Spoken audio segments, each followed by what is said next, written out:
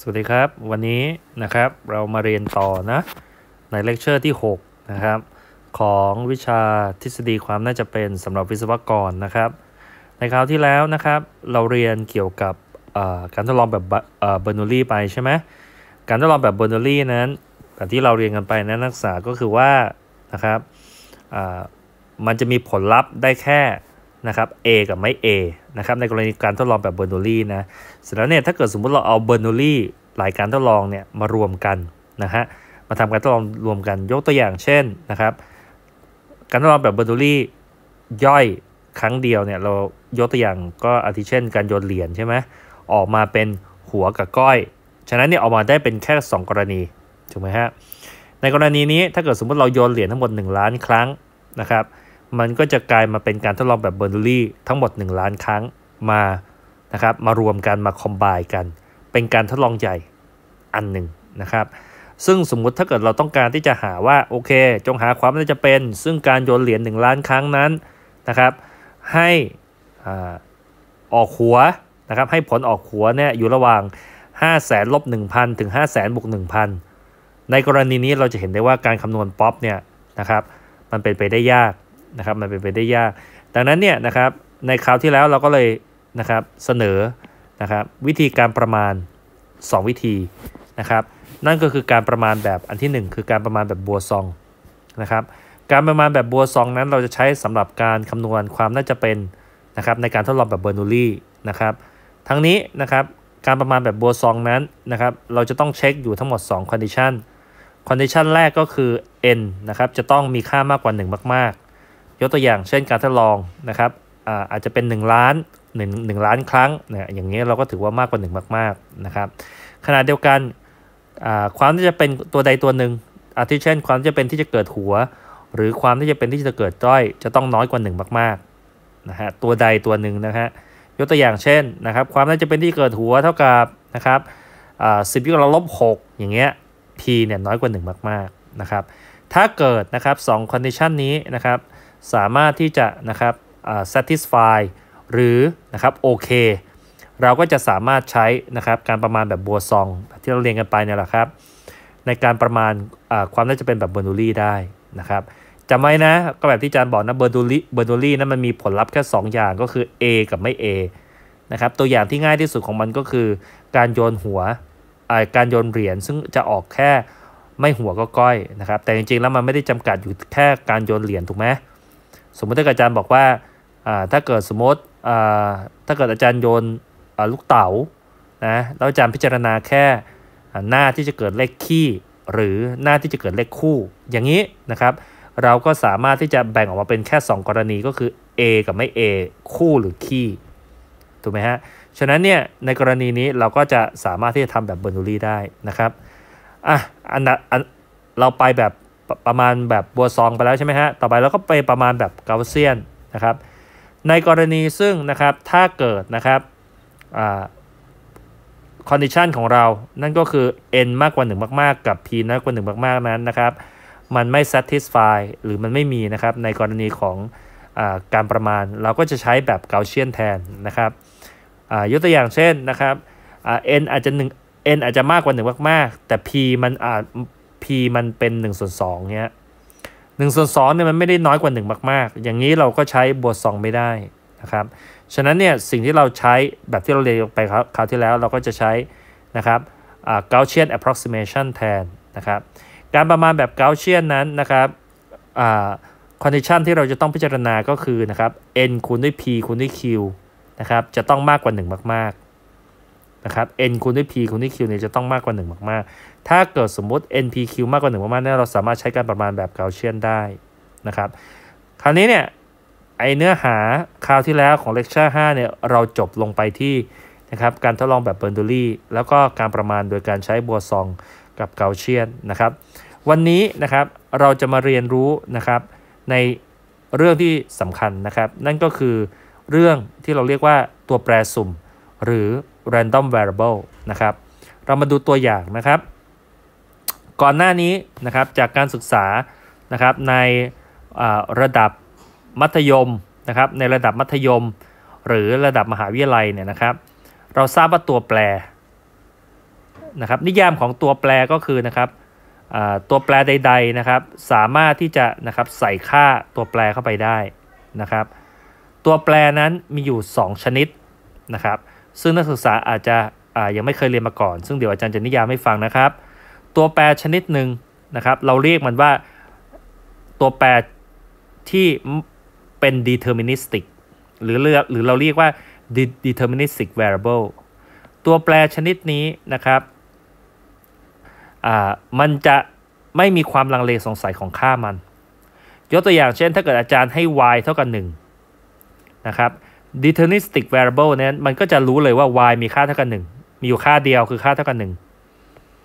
ไม่มีความลังเลสงสัยเลยว่า y มีค่าเท่ากับ1ถ้าเกิดสมมติเราเขียนสมการออกมาเป็นรูปแบบนี้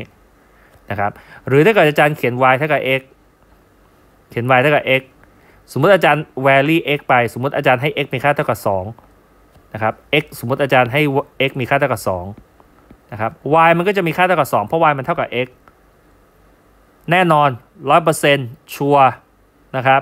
ไม่มีผิดพิ้ว อันนี้เราเรียกมันว่า นะครับ ตัวแปรแบบไม่สุ่ม หรือ deterministic variable นะครับ ตัวแปรแบบไม่สุ่ม มันมีอีกตัว มันมีตัวแปรอีกชนิดหนึ่งครับ ซึ่งอาจารย์คาดว่านักศึกษายังอาจจะยังไม่เคยมา ยังไม่อาจจะยังไม่เคยเรียนนะครับ เราเรียกว่าไอตัวนี้เราเรียกว่าตัวแปรสุ่ม ตัวแปรสุ่มนี้นะครับ มันจะมีค่าใดค่าหนึ่งเนี่ยนะครับ ขึ้นอยู่กับความน่าจะเป็น ยกตัวอย่างนะครับ ในกรณีของ y นี้นะครับ มันอาจจะเป็นค่าศูนย์หรือค่า 1 นะครับ เราไม่รู้ว่าจริง ๆ แล้วเนี่ยค่า y เนี่ยนะครับ ตัวแปรสุ่มเนี่ยมันมีค่าเป็นอะไรกันแน่ แต่เรารู้ว่านะครับค่าของมันนั้นนะครับ เป็นค่าใดค่าหนึ่งด้วยความน่าจะเป็นนะครับ เท่ากับเท่าไหร่ ยกตัวอย่างเช่นนะครับ ถ้า y นะครับ มีค่าเป็น 0 ด้วยความน่าจะเป็น1ส่วน2และมีค่าเป็น 1 ด้วยความน่าจะเป็น1ส่วน2นะครับในกรณีนี้ก็คือ y มีโอกาสเป็นไปได้ 2 ค่านะครับก็คือ 0 หรือ1นะครับโดยที่แต่ละค่านั้นนะครับมีโอกาสเป็นไปได้เท่ากับทั้งหมดเท่ากับ1ส่วน2อ้าวแล้วอย่างนี้จะถามว่า y เนี่ยนะครับจะถามว่า y เนี่ยเป็นค่าอะไรล่ะ ตอบไม่ได้ ถ้าเกิดสมมุติจะเอาแบบ exact จะเอาแบบ100%เนี่ยตอบไม่ได้ เพราะ y เนี่ย มันไม่แน่ มันอาจจะเป็นศูนย์ก็ได้ อาจจะเป็นหนึ่งก็ได้นะครับ เราตอบได้แค่ว่ามันเป็นศูนย์ด้วยความน่าจะเป็นหนึ่งส่วนสองเราตอบได้แค่ว่ามันมันเป็นมันเป็นหนึ่งด้วยความน่าจะเป็นหนึ่งส่วนสองนะครับไอตัวนี้เราเรียกว่าตัวแปรสุ่ม เสร็จแล้วเนี่ยไอตัวแปรสุ่มนั้นนะครับมันมาเกี่ยวข้องอะไรนะครับ กับพวก sample space กับพวกไอการทดลองของความน่าจะเป็นนะครับ ซึ่งเราจะพูดกันต่อไปนะครับมันมาเกี่ยวข้องอะไรนะครับ ตัวแปรสุ่มนั้นนะครับ เราจะมองมันว่านะครับ มันคือการแมปปิ้งแมปปิ้งนะครับแมปปิ้งจากผลลัพธ์ของ sample space นะครับ ไปยังจำนวนจริงนะครับ จริง ๆ การแมปปิ้งก็คือการ โยงค่าที่สอดคล้องกันนั่นเองนะครับพูดง่ายๆ คือคุณจะแทนค่านะครับ ผลลัพธ์ของ sample space ด้วยเลขบนจำนวนจริงนะครับ ฉะนั้นในเวลาเราเขียนนักศึกษาจะเห็นได้ว่านะครับทางซ้ายนะครับซึ่งอาจารย์แรงเงาด้วยสีเขียวเนี่ยนะครับมันคือฝั่งของนะครับ sample space ทางขวาซึ่งอาจารย์แรงเงาด้วยสีแดงเนี่ยมันคือฝั่งของเส้นจำนวนจริง ดังนั้นเนี่ยนะครับ ตัวแปรสุ่มก็คือการโยงหรือการแมปปิ้งนะครับจากผลลัพธ์ของ sample space ไปยังจำนวนจริง ไปยังจำนวนจริงนะครับดูตัวอย่างนะครับ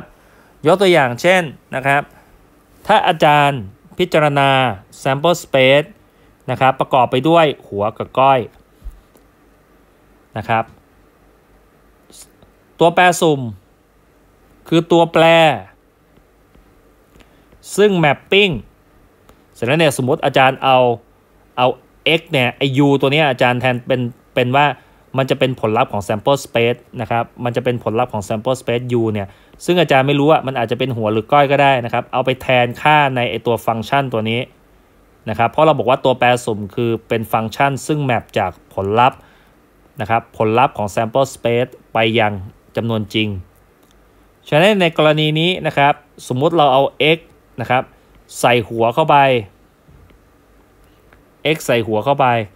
นะครับ ในตัวอย่างนี้นะครับ เราก็จะแมปหัวเนี่ยมาที่ค่า1นะครับ จากนั้นนะครับ x ใส่เข้าไปแล้วก็จะเราก็จะแมปก้อยนะครับเราก็เอาก้อยเนี่ยไปแทนใน u นะครับ แล้วก็จะแมปมาค่าที่ลบหนึ่ง ฉะนั้นเนี่ยนักศึกษาจะเห็นได้ว่านะครับการแมปปิ้งนะครับการแมปไอตัวแปรสุ่มนี้คือการแมปปิ้งนะครับจากผลลัพธ์ของ sample space มายังจำนวนจริง ฉะนั้นเนี่ยในกรณีนี้แสดงว่า x ตัวแปรสุ่ม x มีค่าได้เท่าไหร่มั้งครับ ในกรณีนี้ มีค่าได้ 2 ค่าคือค่า 1 กับค่าลบ 1 แต่คำถามคือนะครับแสดงว่า x ของนักศึกษานะในกรณีนี้ x ของนักศึกษามีค่าได้ 1 กับลบ1แต่ถามว่าถ้าเกิดอาจารย์ถามว่า x ของนักศึกษาเป็นค่าอะไรได้อะไรกันแน่ระหว่าง 1 กับลบ1นักศึกษาบอกไม่ได้ เพราะว่ามันขึ้นอยู่กับว่านะครับ ผลลัพธ์ของนักศึกษานะครับ ผลลัพธ์ของนักศึกษาเป็นหัวหรือก้อย เสร็จแล้วในไอหัวหรือก้อยที่นักศึกษาได้เนี่ยมันมาจากการทดลองการโยนเหรียญแสดงว่ามันมีความเป็นแรนดอมอยู่ ฉะนั้นเนี่ยไอการความเป็นแรนดอมเนี่ยมันส่ง สารพันธุกรรมมาถึงไอหนึ่งกับลบหนึ่งด้วย เพราะไอหนึ่งเนี่ยมันมันแทนค่าก็คือแทนค่าหัว ลบหนึ่งเนี่ยมันแทนค่าก้อย ถูกไหมฮะ ฉะนั้นเนี่ยถ้าเกิดเราจะบอกว่า x เป็นค่า1หรือลบ1กันแน่ เราบอกไม่ได้ เพราะมันมีความเป็นแรนดอมนะครับ ที่สืบทอดมาจากนะครับ ตัวตั้งต้นของมันคือหัวหรือก้อยนะครับ นะครับ เราตอบได้แค่เพียงว่า x เนี่ยจะมีค่าเป็น 1 ด้วยความน่าจะเป็นเท่ากับ1ส่วน2นะครับ x มีค่าเป็นลบ1ด้วยความน่าจะเป็นเท่ากับ1ส่วน2เราตอบได้แค่นี้ในกรณีที่เหรียญมันแฟร์นะครับ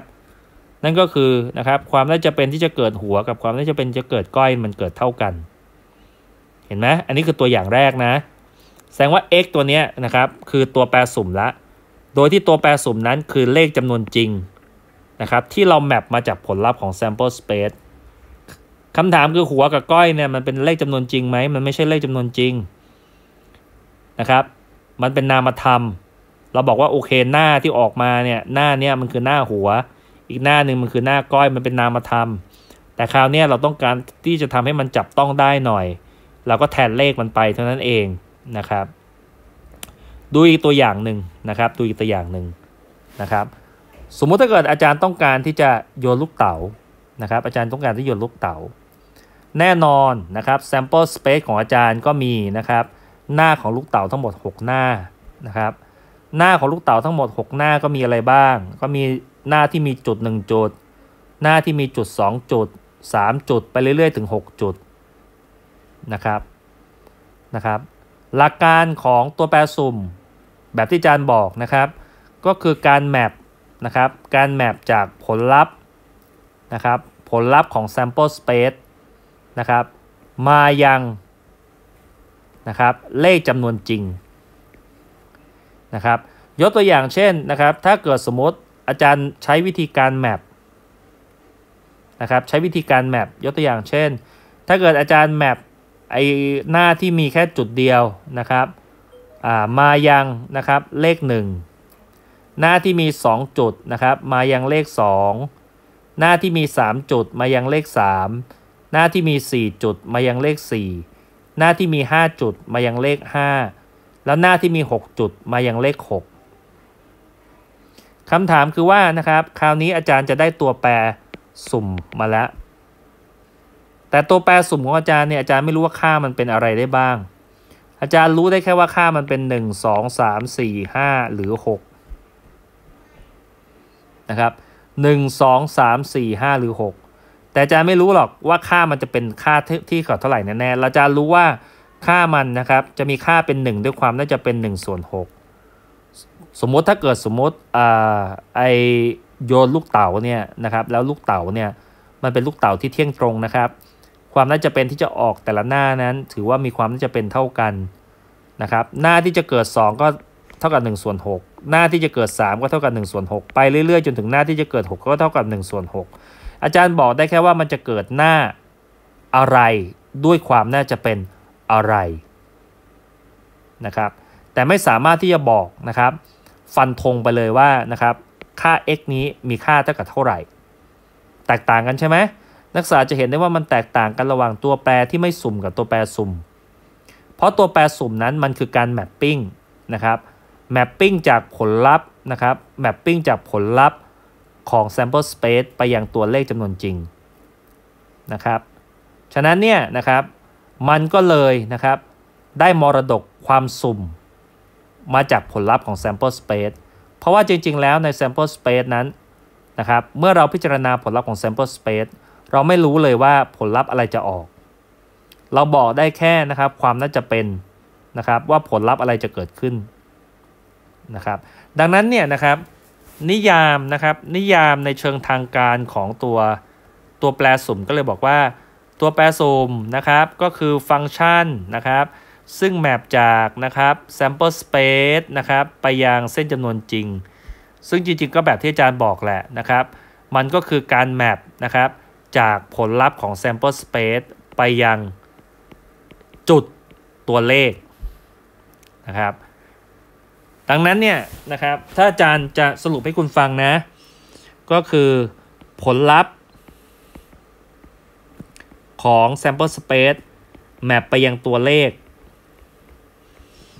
คราวนี้นักศึกษาเคยเรียนกับอาจารย์มาแล้วว่า เหตุการณ์ เหตุการณ์เนี่ยมันเป็นนะครับ subset ของ sample space ถูกไหมแต่เหตุการณ์ นะครับ มันเป็นสมาชิกของเซตของเหตุการณ์ หรือเราเรียกในภาษาคณิตศาสตร์ว่าซิกมาจิบ้านะครับอ้าวคุณอาจจะถามว่าอาจารย์แล้วเหตุการณ์เนี่ย เวลามันแมปไปเนี่ยนะครับ มันแมปไปยังเส้นจำนวนจริงเนี่ย มันได้อะไร เราทราบ เราทราบว่าโอเค ถ้าเกิดมันเป็นผลลัพธ์ของ sample space มันแมปมาที่จุด เป็นตัวเลขเพียวๆ แต่ถ้าเกิดเหตุการณ์เนี่ย เหตุการณ์เหตุการณ์เราบอกแล้ว เหตุการณ์มันเป็น subset ของ sample space ในเมื่อเหตุการณ์มันเป็น subset ของเป็น sample space แสดงว่าเหตุการณ์มันก็ต้องเป็นนะครับอาจารย์ใช้สีแดงดีกว่านะครับ เป็น subset ใช่ไหมแล้วไอ้ subset ตัวเนี้ยมันจะแมปมายังไงนะครับ จากนิยามนะครับ เราจะแมป subset ของ sample space นั้นจะแมปมาเป็นช่วงของตัวเลข นะครับ เหตุการณ์นะครับ จะแมปมาเป็นช่วงของเส้นจำนวนจริงนะครับ ยกตัวอย่างเช่น สมมติไอเหตุการณ์สีแดงที่อาจารย์โชว์ให้เห็นเนี้ยนะครับ มันอาจจะแมปมานะครับ เป็นบางช่วงของเส้นจำนวนจริงนะครับ แต่ถ้าเกิดสมมตินะครับ เราดูการแมปปิ้งของตัวแปรสุ่มนั้นนะครับเราจะสามารถนิยามได้ว่านะครับ ถ้าเกิดนักศึกษาพิจารณาช่วงช่วงใด ๆ ของเส้นจำนวนจริงนะครับ โดยที่ช่วงนั้นนะครับ มันก็คือนะครับช่วงซึ่ง x น้อยกว่าหรือเท่ากับ z z ตัวนี้นะครับ เป็นตัวเลขใด ๆ นะครับ z ตัวนี้เป็นตัวเลขใด ๆ ซึ่งอยู่ในเส้นจำนวนจริงอะ z อาจจะเป็น 1 ก็ได้อาจจะเป็นลบ1ก็ได้อาจจะเป็น 0 ก็ได้นะครับนะครับแล้วช่วงใด ๆ ที่มันน้อยกว่า z เนี่ยตั้งแต่ลบตี้จนถึง z เนี่ยนะครับมันจะเป็นเหตุการณ์ ถ้าเกิดเราย้อนกลับไปที่ sample space นะครับมันจะเป็นเหตุการณ์เสมอ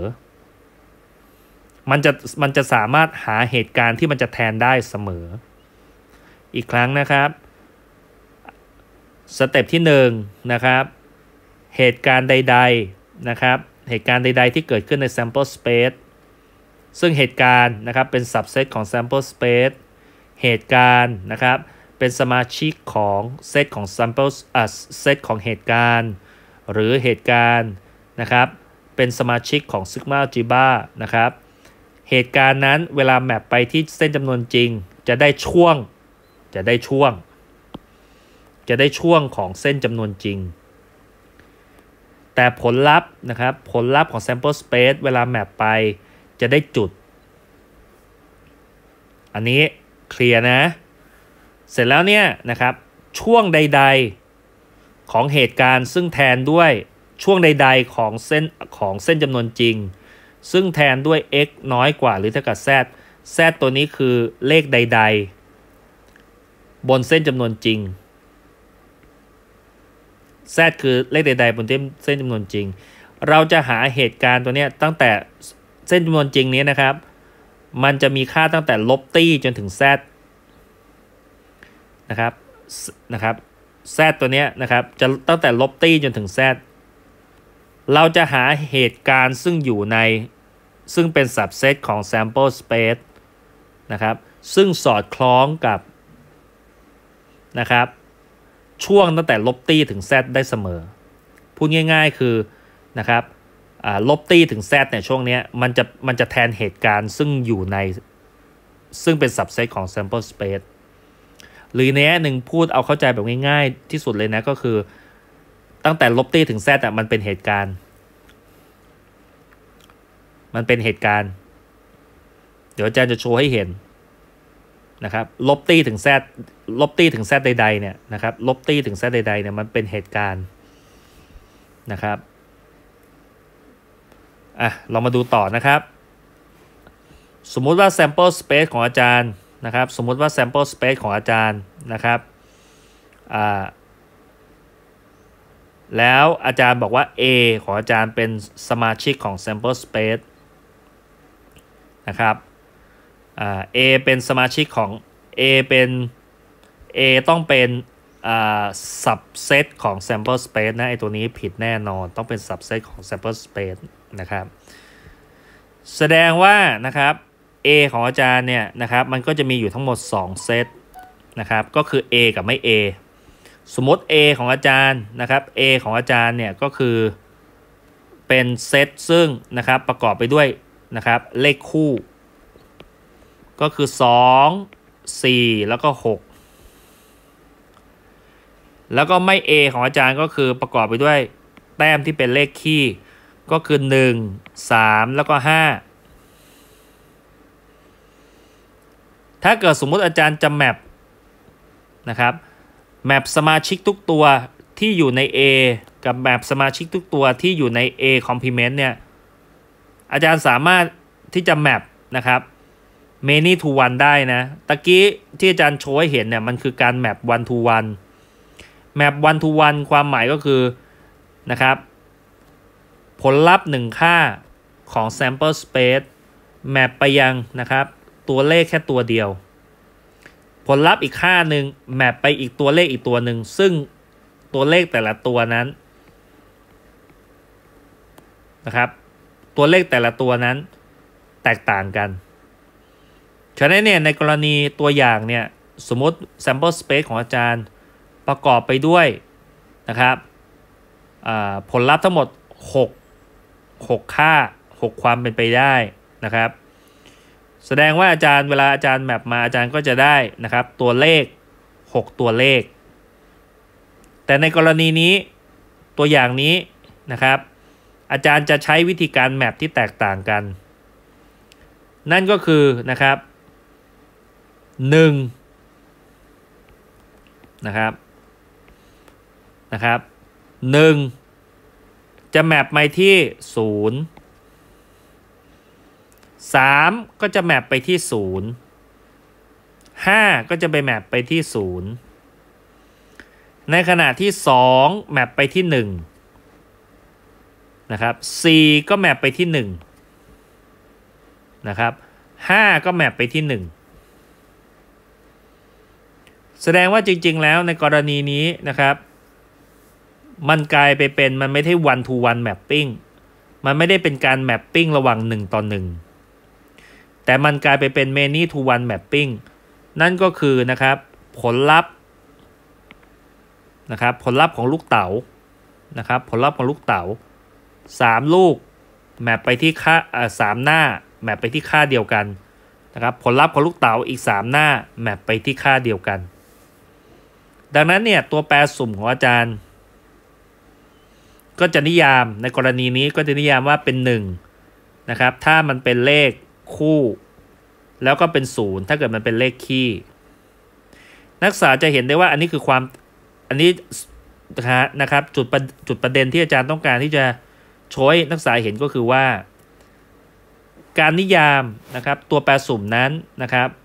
มันสามารถนิยามได้หลากหลายวิธี ทั้งๆทที่มาจาก sample space ตัวเดียวกัน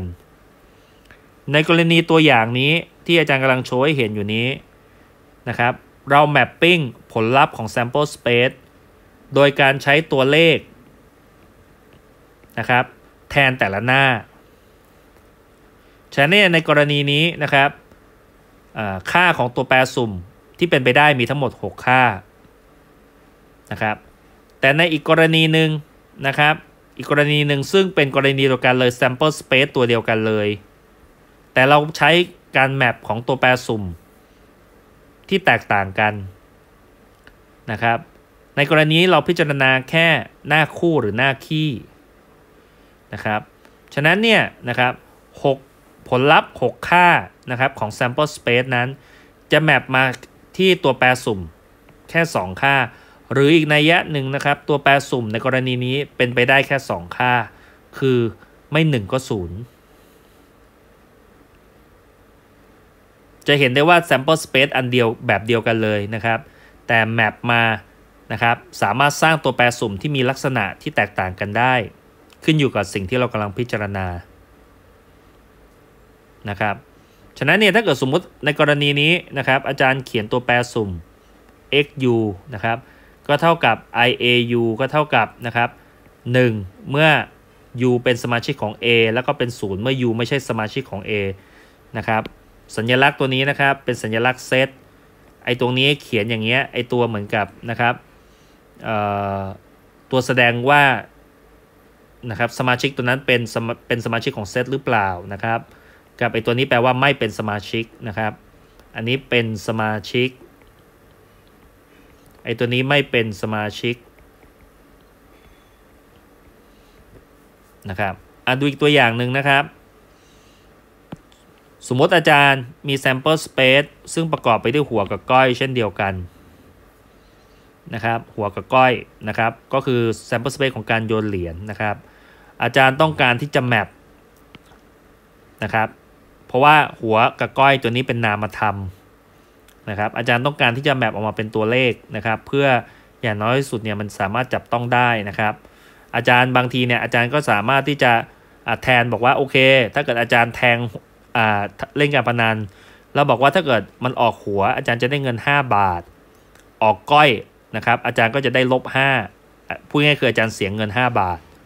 ฉะนั้นเนี่ยเวลาอาจารย์แมปมาเนี่ยนะครับตัวเลข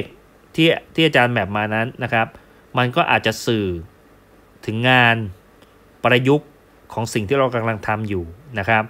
โดยเฉพาะอย่างยิ่งในกรณีที่อาจารย์กำลังโชว์อยู่นี้ มันก็คืองานประยุกต์ประเภทการเล่นการพนันใช่ไหมถ้าเกิดเกิดหัวเนี่ยนะครับอาจารย์แมปตัวเลขมาที่เลข 5 ก็หมายความว่าได้เงิน 5 บาทนะครับแมปก้อยแมปมาก็ลบ 5 บาท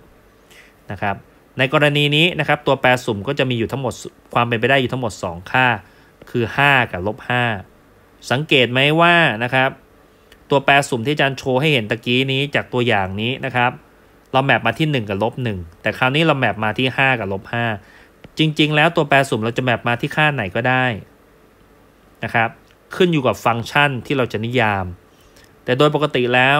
นะครับ ฟังก์ชันที่เรานิยามนั้นนะครับ เราต้องการนิยามฟังก์ชันนะครับที่มันมีความหมายนะครับ มีความหมาย ตัวแปรสุ่มจะต้องสื่อถึงอะไรนะครับ สื่อถึงอะไร ในกรณีนี้เราจะเห็นได้ว่านะครับ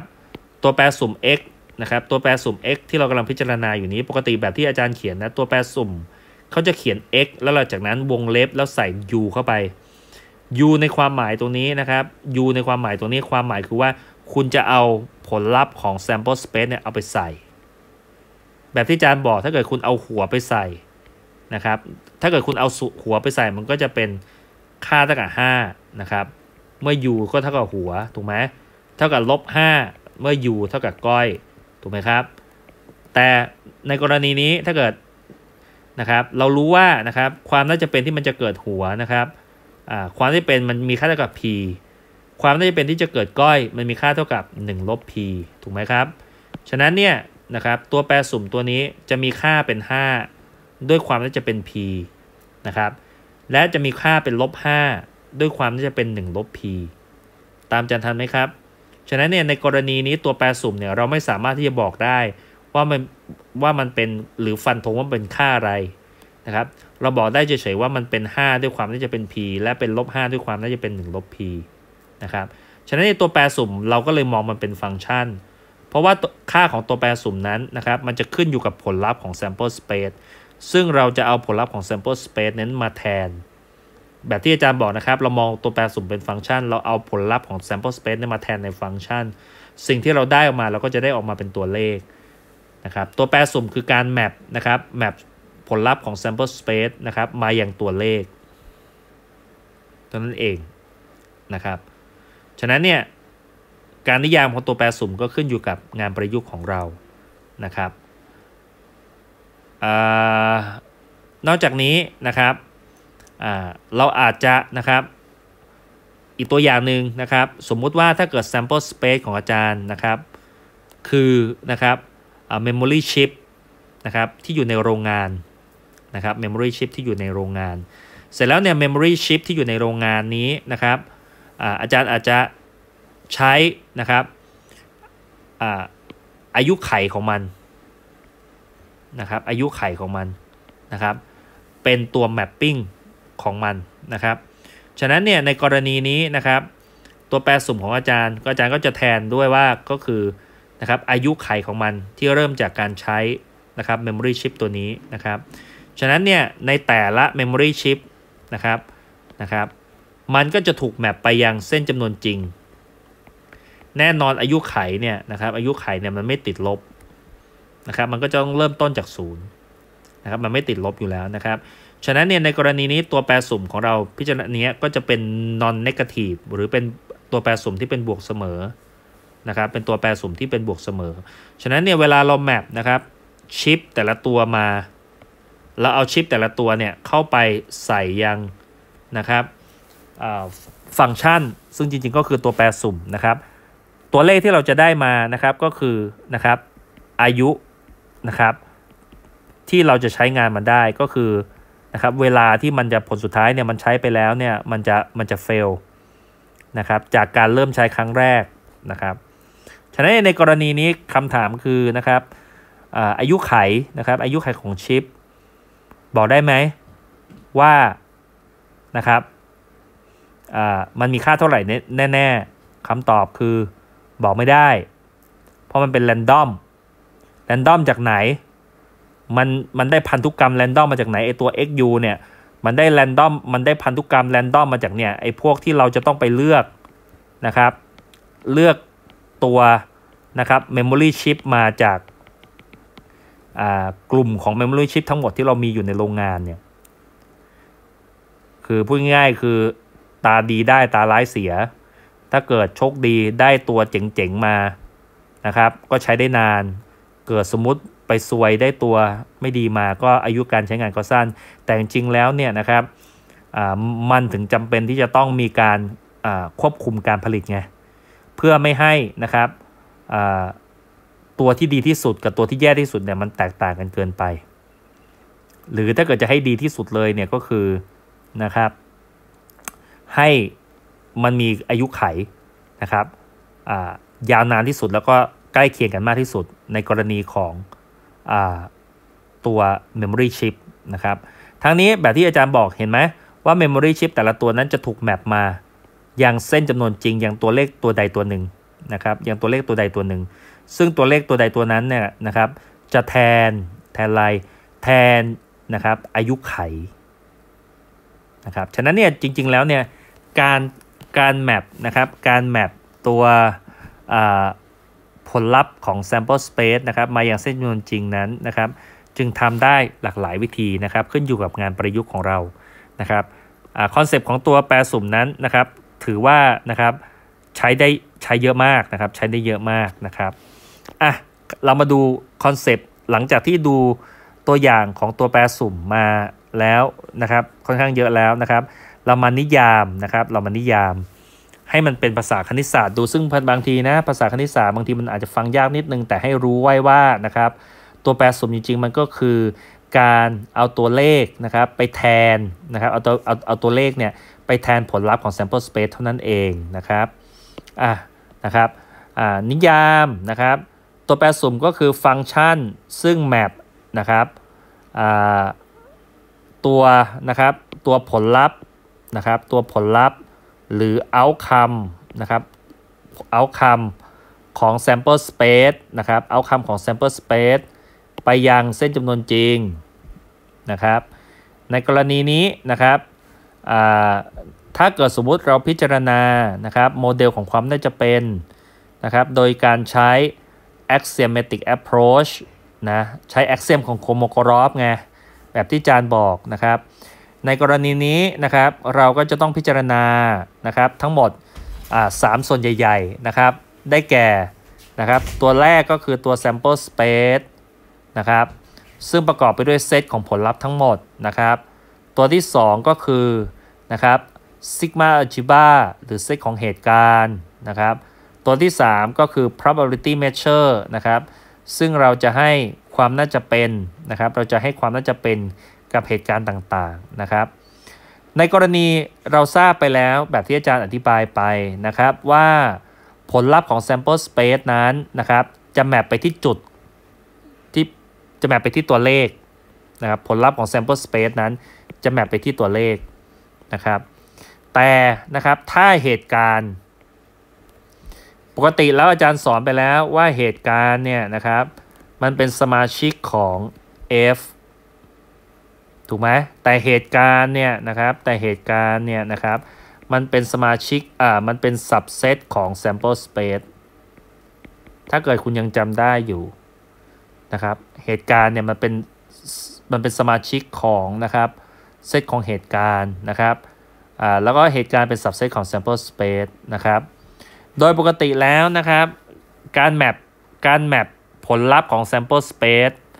นะครับ อาทิเช่นหัวหรือก้อยหรืออะไรก็แล้วแต่เนี่ยจะแมปไปที่นะครับตัวเลขใดตัวเลขหนึ่งนะครับแต่เหตุการณ์นะครับเหตุการณ์นะครับแบบที่อาจารย์จะนะครับแรงเงาด้วยสีฟ้าเนี่ยแต่เหตุการณ์จะถูกแมปไปที่นะครับช่วงของตัวเลขแบบที่อาจารย์โชว์ให้เห็นตะกี้นี่ไงพูดง่ายๆคือนะครับถ้าเกิดสมมติอาจารย์มี sample space นะครับแล้วอาจารย์ก็มี subset ของ sample space เราเคยเรียนรู้กันไปแล้วว่า subset ของ sample space ตัวนี้คือเหตุการณ์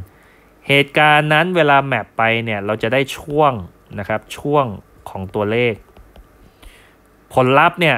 เราจะแมปไปเราจะได้ตัวเลขตัวเดียวนะครับ แต่เหตุการณ์นะครับ เราแมปนั้นเนี่ยเราจะได้ช่วง ปกติแล้วช่วงนะครับ ช่วงของตัวเลขเนี้ยบางครั้งเราเรียกมันว่า Borel set เป็นชื่อนะครับ เป็นชื่อของ อ่ามันเป็นชื่อของไอไอมันเป็นชื่อของอทางสมการคณิตศาสตร์นะทางคณิตศาสตร์ก็คือ Borel set ก็คือช่วงของตัวเลขนะครับ ซึ่งเราจะใช้ในการแทนเหตุการณ์นะครับไอ้ตัวนี้คือ Borel set นะครับเหตุการณ์ต่างๆนะครับ ซึ่งเป็น subset ของ sample space นะครับ จะถูกนะครับแมปมาเป็นช่วงของตัวเลขนะครับ ดูตัวอย่างนะ สมมตินะครับ ถ้าอาจารย์มี sample space นะครับ แล้วอาจารย์มีผลลัพธ์ของ sample space นะครับ ผลลัพธ์ของ sample space ผลลัพธ์ของ sample space ของอาจารย์ก็มีทั้งหมดกี่ตัวในกรณีนี้ ผลลัพธ์ของ sample space มีทั้งหมด 4 ตัวคือ A B C แล้วก็ D ฉะนั้นเนี่ยนะครับ ถ้าเกิดอาจารย์จะแมปมาโดยการใช้ตัวแปรสุ่มนะเพื่อที่จะเปลี่ยนจากนามธรรม ไปเป็นรูปธรรม เป็นตัวเลขซึ่งสามารถวัดได้นะครับ ในกรณีนี้นะครับอาจารย์ก็แมปจาก A มา B 1 อะก็เป็นไปได้ใช่ไหม B อาจารย์ก็ให้ตัวเลขแทนมันเป็น B 2 C อาจารย์ก็ให้ตัวเลขมันแทนมาเป็น C 2 D อาจารย์ให้แทนตัวเลขมันก็เป็น C 1 นะครับ ก็เราได้ละ อันนี้เฉพาะผลลัพธ์ของ sample space นะ แต่ถ้าเกิดแบบที่อาจารย์บอกเมื่อใดก็แล้วแต่ที่เป็นเหตุการณ์ นะครับที่เป็นเหตุการณ์เวลาเราแมปมาเราจะได้ช่วงนะครับเราจะได้ช่วงของตัวเลข ซึ่งช่วงของตัวเลขนี้เราเรียกมันว่า Borel set นะครับก็แบบที่บอกนะครับถ้าเกิดเราถ้าเกิดเราเลือกนะครับถ้าเกิดเราเลือกนะครับตัว Memory Chip นะครับจากกอง Memory Chip อยู่นะครับกอง Memory Chip อยู่นะครับสิ่งที่เราอาจจะแทนตัวแปรสุ่มก็คือนะครับ เวลานะครับเวลาที่ใช้อายุไขของมันแบบที่อาจารย์อธิบายไป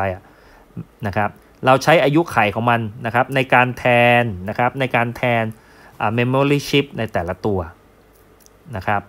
เสร็จแล้วเนี่ยนะครับในการที่เราจะอธิบายนะครับคุณสมบัติเชิงนะครับสถิติของตัวแปรสุ่มนั้นนะครับเราจำเป็นจะต้องนิยามนะครับนิยามฟังก์ชันนะครับนิยามฟังก์ชันน นะครับขึ้นมานะครับ คุณอาจจะถามว่าอาจารย์ แล้วไอ้ตัวนิยามที่เราจะเพื่ออธิบายนะครับ อธิบายคุณสมบัติเชิงสถิติของตัวแปรสุ่มนั้นเนี่ยมันเอาไว้ทำอะไรครับอาจารย์คำตอบก็คือมันเอาไว้สำหรับคำนวณความน่าจะเป็นของตัวแปรสุ่มนั้นๆ ซึ่งใช้เยอะ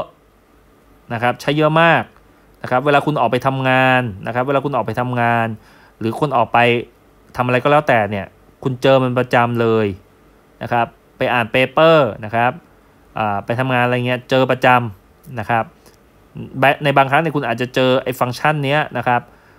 โดยไม่รู้ตัวด้วยซ้ำว่ามันคือตัวนั้นนะครับ เวลาไปเรียน image processing วิชา image processing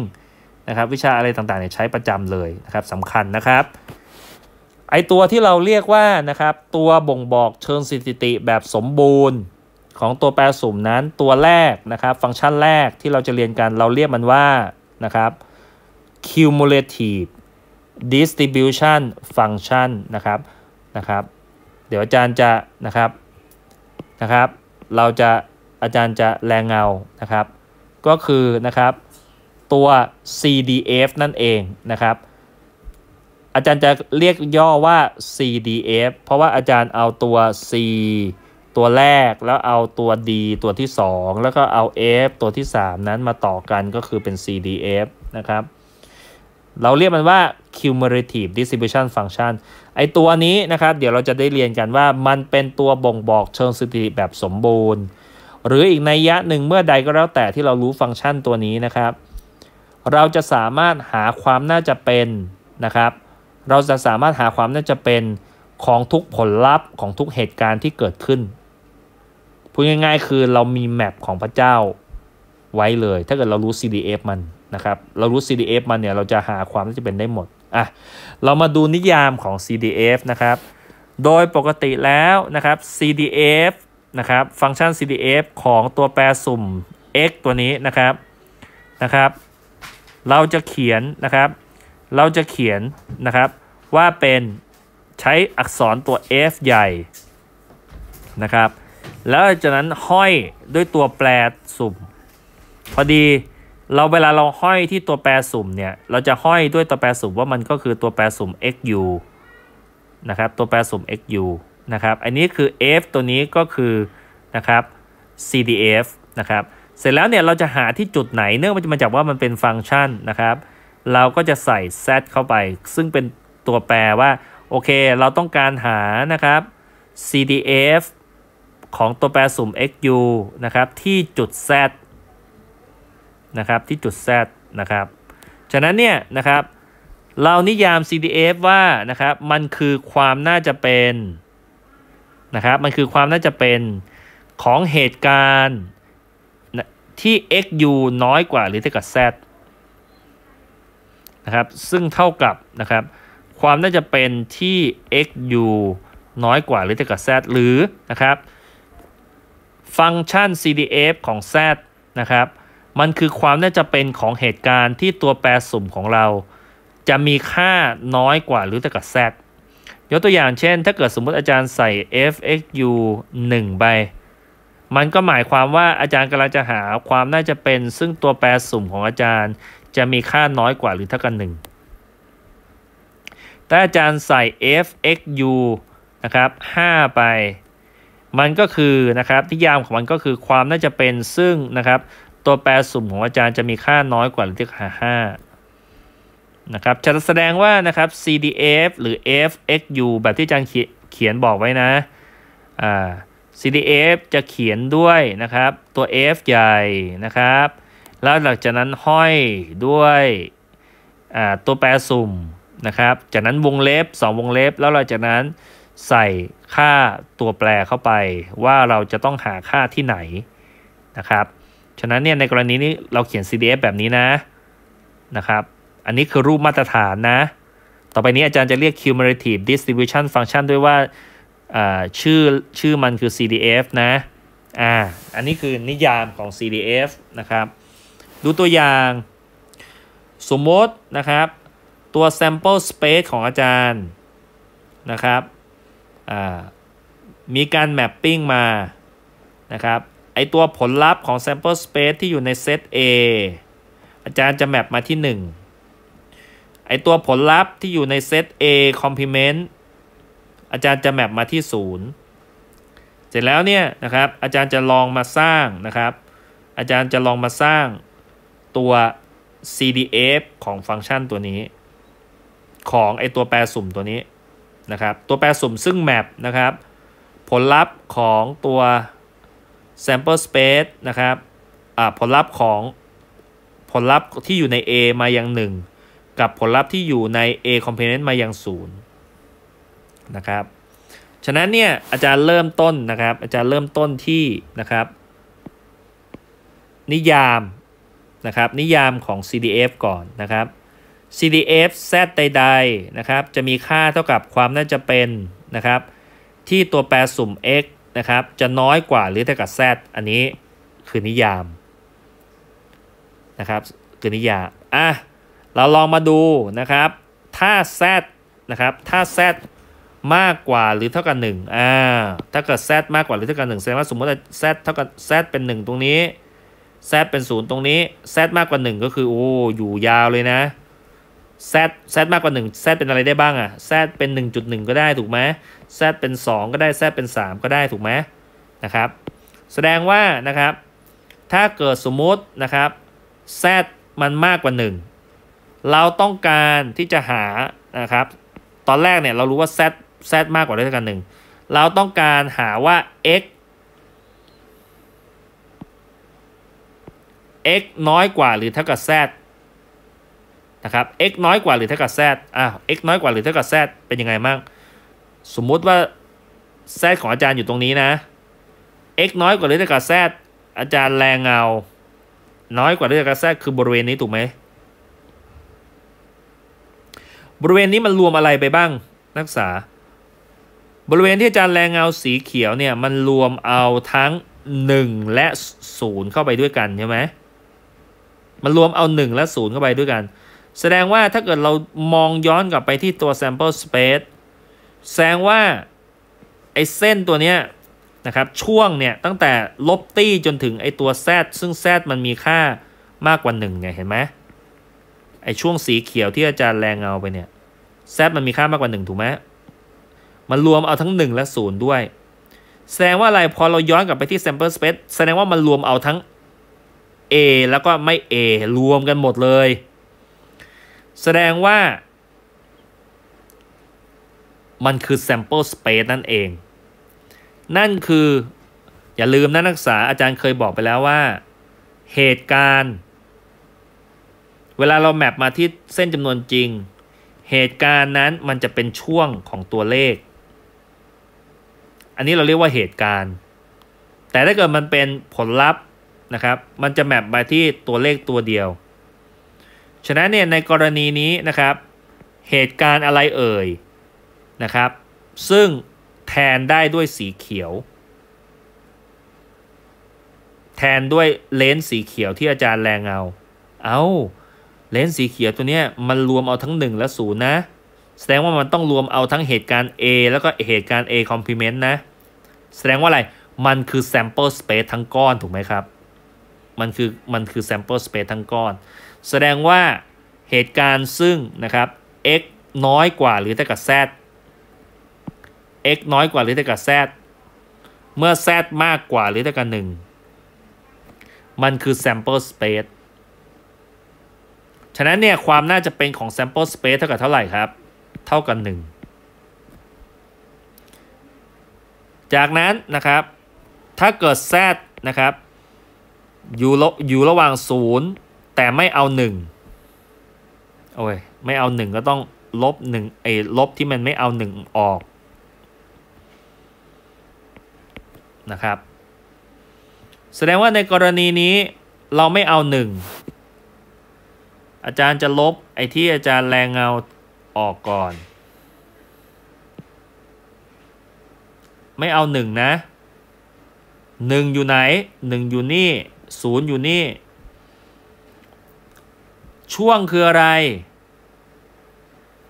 x อยู่ระ x น้อยกว่าหรือเท่ากับ z เหมือนเดิม เพราะนิยามอย่าลืมนะ นิยามของ CDF ก็คือ pop ซึ่ง x u มันน้อยกว่าหรือเท่ากับ z แต่คราวนี้เนี่ย z เราอยู่ระหว่าง 0 ถึง 1 นะ z เราไม่ได้มากกว่า 1 แล้วนะ z เราอยู่ระหว่าง 0 ถึง 1 คืออะไร แสดงว่า z เราเนี่ยต้องอยู่บริเวณนี้ z เราต้องอยู่บริเวณนี้ z อาจจะเป็น 0.5 ก็ได้ z อาจจะเป็น 0.7 ก็ได้ z อาจจะเป็น 0.99 ก็ได้แต่ห้ามห้ามรวม 1 นะ เพราะรวม 1 เนี่ยเราเราเราพิจารณาไปแล้ว เราจะพิจารณาเฉพาะ z อยู่ระหว่าง 0 ถึง 1 นะครับ แต่รวม 0 ได้ ในกรณีนี้นะครับ สิ่งที่เราได้นะครับ อาจารย์ก็จะแรงเงาได้แค่นี้ แต่ไม่เอาหนึ่งแสดงว่านะครับไอ้เส้นที่เราแรงเงาเนี่ย นะครับไอเส้นที่เราแรงเงาเนี่ยมันมันมันมีแต่ศูนย์มีหนึ่งไหมไม่มี เพราะหนึ่งมันไม่ได้รวมอยู่ด้วยอ้าวแล้วไอตัวเนี้ยมันแทนเหตุการณ์อะไรอะเพราะเรารู้อยู่แล้วว่านะครับ ถ้าเกิดมันเป็นช่วงของตัวเลขเนี่ยนะครับ มันเป็นช่วงของตัวเลขเนี่ย มันจะแทนเหตุการณ์ แต่เริ่มเราไม่เอาหนึ่งแสดงว่ามันมีศูนย์อยู่ตัวเดียวถูกไหมนะครับ ศูนย์เนี่ยคืออะไรศูนย์มันคือ ถ้าเกิดเราเราย้อนกลับไปศูนย์ไอไอตัวเลขศูนย์เนี่ยมันแทนมันแทนผลลัพธ์ของ sample space ซึ่งอยู่ในเซตไหน อยู่ในเซต A complement มันไม่เอา A เพราะว่า A มันคือแมปมาที่ 1 แต่ศูนย์เนี่ยมันแมปมาจาก A complement แสดงว่านะครับ x u นะครับนะครับช่วงของตัวแปรสุ่มนะครับซึ่งตัวแปรสุ่มค่าของตัวแปรสุ่มนี้นะครับ น้อยกว่าหรือเท่ากับ z โดยที่ z อยู่ระหว่าง0ถึง1แต่เอาเอาเอา0นะแต่ไม่เอา 1 แสดงว่ามันคือ a complement นั่นเอง มันคือ a complement นั่นเองนะครับ มันคือ A complement แต่มันไม่เอานะครับ แต่มันไม่เอานะครับ แต่มันไม่เอา A แสดงว่าช่วงนี้นะครับ มันก็คือป๊อป ของ A complement นั่นเอง นั่นก็คือช่วงที่อาจารย์แรงเงาเนี่ย มันคือเหตุการณ์ A complement เนื่องมาจากว่ามันเอา มันมีแค่ค่าศูนย์แต่มันไม่มันไม่มีค่าหนึ่งซึ่งค่าหนึ่งนี้มันจะคือคือผลของผลลัพธ์ที่เกิดจาก A แต่มันไม่เอาค่าแต่มันไม่เอา1มันเอาเฉพาะศูนย์แสดงว่ามันมีเฉพาะผลลัพธ์ที่เกิดจาก A complement แสดงว่าเหตุการณ์ของไอ้ที่อยู่ในช่วงนี้ มันคือเหตุการณ์ของ A complement นั่นเอง แสดงว่า CDF CDF ของ CDF ของ Z เมื่อ Z อยู่ระหว่าง 0 ถึง 1 นะครับ มีค่าเท่ากับป๊อปของ a complement ป๊อปของ a complement เราทราบอยู่แล้วว่าป๊อปของ a complement เท่ากับ 1 ลบป๊อปของ a ถูกไหมฮะ เพราะว่า a กับ a กับ a complement นั้นนะครับอ่ามันแยกจากกันโดยเด็ดขาด ฉะนั้นเนี่ยป๊อปของ a complement ก็เท่ากับ 1 ลบป๊อปของ a นะครับอะได้ไป2 2ช่วงแล้วใช่ไหมต่อไปเราจะดูช่วงที่3นะครับเดี๋ยวจะลบก่อนนะ เราจะดูช่วงที่ 3 ช่วงที่ 3 คือช่วงเมื่อ z น้อยกว่า 0 เพราะเราพิจารณา z มากกว่าหรือเท่ากัน 1 ไปแล้ว หลังจากนั้นเราพิจารณา z อยู่ระหว่าง 0 ถึง 1 ต่อไปเพื่อให้ครบเราก็ต้องพิจารณา z น้อยกว่า 0 เพื่อจะได้ให้ครบทุกช่วง เพราะว่าฟังก์ชันของ f x z เราเนี่ย เราจะต้องพิจารณา z ทุกช่วง ว่าทุกช่วงเวลาเอามาแทนแล้วเนี่ย เราจะได้ผลเป็นอะไร ปรากฏว่าถ้าเกิด z น้อยกว่า 0 อาจารย์จะแรงเงานะ เอาเป็นสีแดงแล้วกัน z น้อยกว่า 0 z น้อยกว่า 0 เนี่ยนะครับ นักศึกษาจะเห็นได้ว่านะครับช่วง z น้อยกว่า 0 นั้น มันไม่เอาทั้ง 0 มันไม่เอาทั้ง 1 มันไม่เอาทั้ง 0 มันไม่เอาทั้ง 1 แสดงว่าถ้าเกิดเราย้อนมองกลับไปยัง sample space แสดงว่าไอตัวนะครับไม่เอาทั้ง 0 ไม่เอาทั้ง 1 เนี่ย มันคือโบเบเลยใช่ไหม ไม่มีผลลัพธ์ที่อยู่ใน A ไม่มีผลลัพธ์ที่อยู่ใน A complement เลยถูกไหมแสดงว่านะครับ ช่วงที่ z น้อยกว่า 0 นั้นนะครับ มันจะนะครับ สอดคล้องกับเซตว่าง คือเหตุการณ์ซึ่งไม่มีอะไรเกิดขึ้นเลย ไม่มีผลลัพธ์อยู่นะครับ ซึ่งนะครับความน่าจะเป็นของเซตว่างก็มีค่าเป็น 0 นะครับ ฉะนั้นเนี่ยอาจารย์ได้ครบแล้วทั้ง 3 ช่วงนะครับอาจารย์ได้ครบแล้วทั้ง 3 ช่วง ซึ่งก็ชุคือซึ่งก็คือช่วงที่ z น้อยกว่า0นะครับ z อยู่ระหว่าง0ถึง1แล้วก็ z มากกว่าหรือเท่ากัน1ฉะนั้นเนี่ยอาจารย์ก็มาสามารถมาพอตนะครับมาเขียนฟังก์ชันได้